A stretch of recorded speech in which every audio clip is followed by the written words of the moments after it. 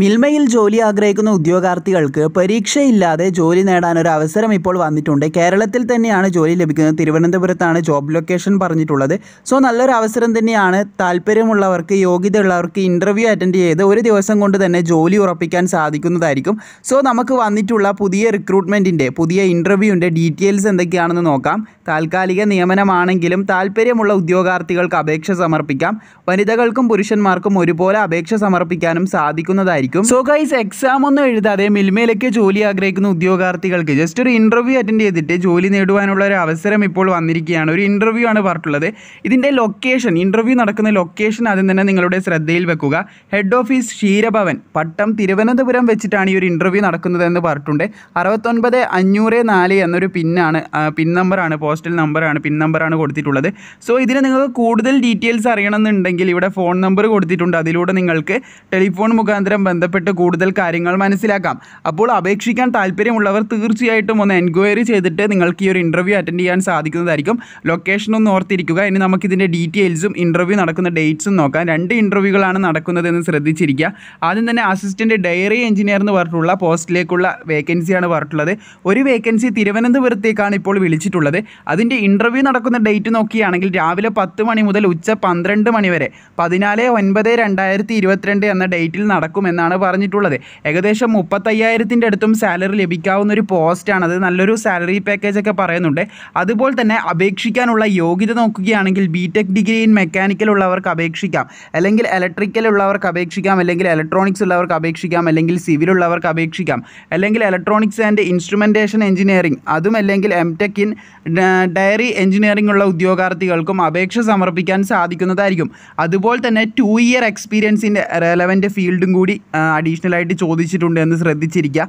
So ഈ ഒരു qualification ഉള്ളവർക്ക് അപേക്ഷ സമർപ്പിക്കാൻ സാധിക്കുന്നതായിരിക്കും. ഇതാണ് ആദ്യത്തെ റിക്രൂട്ട്മെന്റ് ആദ്യത്തെ ഇന്റർവ്യൂ ഇത് പതിനാല് ഒൻപത് രണ്ടായിരത്തി ഇരുപത്തിരണ്ടിനാണ് നടക്കുന്നത്. ഇനി അടുത്ത നോക്കുകയാണെങ്കിൽ ടെക്നിക്കൽ ഗ്രേഡ് ടു ജനറൽ മെക്കാനിക്കിലേക്ക് ഒരു റിക്രൂട്ട്മെന്റ് വിളിച്ചിട്ടുണ്ട്. അപ്പോൾ ഇതിന് അപേക്ഷ സമർപ്പിക്കാനായിട്ട് തിരുവനന്തപുരം ഒരു വേക്കൻസിയാണ് റിപ്പോർട്ട് ചെയ്തിട്ടുള്ളത്. അപേക്ഷ സമർപ്പിക്കേണ്ടത് അതായത് ഇന്റർവ്യൂ ആണ്. ഇന്റർവ്യൂവിന് നിങ്ങൾ അറ്റൻഡ് ചെയ്യേണ്ട ദിവസം പറഞ്ഞിട്ടുള്ളത്.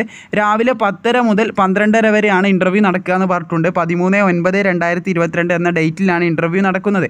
ഏകദേശം പതിനേഴായിരം രൂപേന്റെ അടുത്തും സാലറി ലഭിക്കാവുന്ന ഒരു തസ്തികയാണ് യോഗ്യത നോക്കിയാണെങ്കിൽ എസ് എസ് എൽ സി ആണ് യോഗ്യതയായിട്ട് പറഞ്ഞിട്ടുള്ളത്. പത്താം ക്ലാസ് വിജയിച്ചിട്ടുള്ളവർക്ക് അപേക്ഷ സമർപ്പിക്കാം. അതുപോലെ തന്നെ N C V T certificate in I T I ഉള്ളവർക്ക് അപേക്ഷ സമർപ്പിക്കാൻ സാധിക്കുക എന്ന് പറഞ്ഞിട്ടുണ്ട്.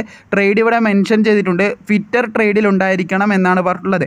ഫിറ്റർ ട്രേഡിലുള്ള ഐ ടി ഐ ഉള്ള ഉദ്യോഗാർത്ഥികൾക്കാണ് അപേക്ഷിക്കാൻ സാധിക്കുക. അതുപോലെ തന്നെ വൺ ഇയർ അപ്രന്റീഷിപ്പ് സർട്ടിഫിക്കറ്റും കൂടി ചോദിക്കുന്നു. Through R I C in the relevant ഫീൽഡാണ് ചോദിച്ചിട്ടുള്ളത്. Then two year experience in the relevant ട്രേഡും കൂടി പ്രത്യേകം ഇവിടെ ചോദിച്ചിട്ടുണ്ട്. റെപ്യൂട്ടഡ് ഇൻഡസ്ട്രിയിൽ നിന്നാണ് പറഞ്ഞിട്ടുള്ളത്.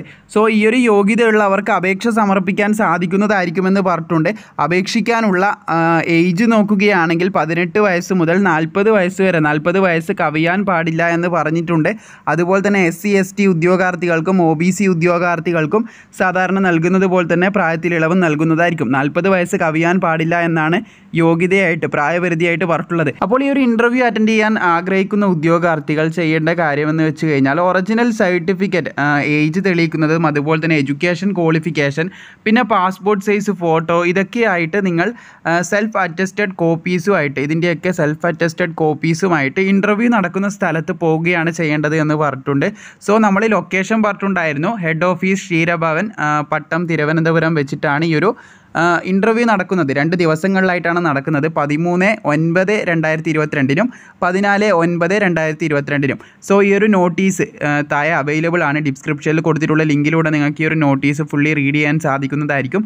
അതുപോലെ തന്നെ കോൺടാക്ട് നമ്പറും ഇവിടെ കൊടുത്തിട്ടുണ്ട്. വീഡിയോ ഇഷ്ടപ്പെട്ടാൽ തീർച്ചയായും ലൈക്ക് ചെയ്യുക. പരമാവധി യോഗ്യതയുള്ള സുഹൃത്തുക്കളിലേക്ക് ഈ ഒരു വീഡിയോ നിങ്ങൾ ഷെയറും കൂടി ചെയ്ത് കൊടുക്കുക.